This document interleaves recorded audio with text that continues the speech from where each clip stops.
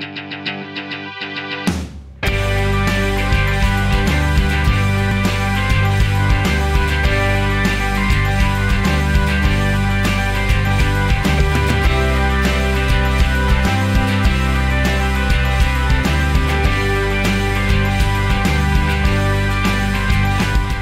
an intern. I'm here on one of my inpatient medicine months. This is my second month. I'm still smiling. I'm still happy, still loving it. I think this is a great program and I'm glad that I chose to come here. I knew that this would be the place that, you know, would support me in everything that I wanted to do. And that's what we look for in residencies. We look for a place that um, allows you to thrive, allows you to learn, but sets you up for the future. In terms of the transition from being a medical student to becoming a resident, as you know, it's by far one of the most daunting and stressful things to think about, but in practice, uh, community made that transition as smooth as possible. It's just a really nurturing environment. It's some place that you can really feel um, okay with making mistakes because there's always a, a safety net. You know, it's okay to be wrong. It's okay to mess up a little bit. There's always going to be someone be, to be there to help guide you and teach you because that's what this is. It's a teaching facility. I think our program is unique in that we attract a lot of people of different backgrounds and a lot of different personalities. Being able to get along with everyone and everyone being fully supportive is fantastic. It's such a family-like atmosphere that um, it really doesn't feel like residency sometimes. I definitely wanted um, a very supportive and encouraging environment.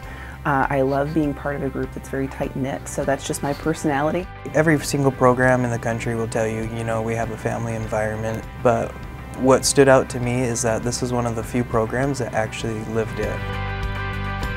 Um, one of the reasons I picked this program was its strong foundation in sports medicine and OMT.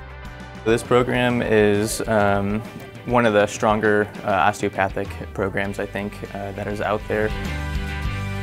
We don't have any night float in the hospital where we're required to you know, stay overnight in the hospital at any point in time. We come in and work in the hospitals in the morning. Um, we do cover weekends, but we never have to stay you know, overnight and do that night call shift that everybody's done in medical school and everybody dreads. I sleep in my own bed every night and not having kind of the stress of not being able to help my wife with the kids has really confirmed my desire to come to this program. One thing I really like about the program, it is a family medicine program, but you are able to kind of make it what you want. Our hospital experience is one of my favorite things about this program.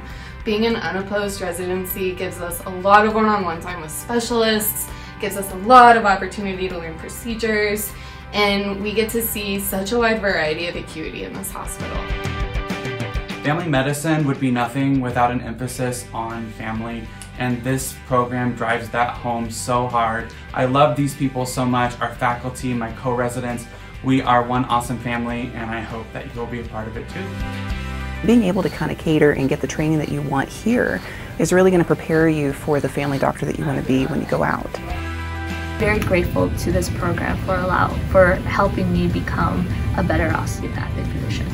Um, if I had to do it over again, I would 100% pick to come here as, as well. It's just a place that's been really instrumental in, in my young career so far and, and helping me to become the doctor that I want to be.